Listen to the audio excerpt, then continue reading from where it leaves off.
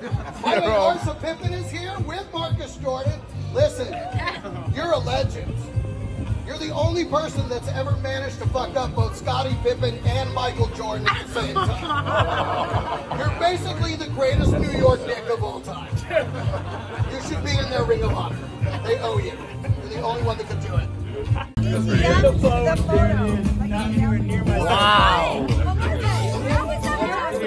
It's crazy. In the actual, in the actual messages embedded. And what, and what, and what time, what time is it right now? Yeah, 302. And what time was it sent? Four minutes ago, before the trip ever started.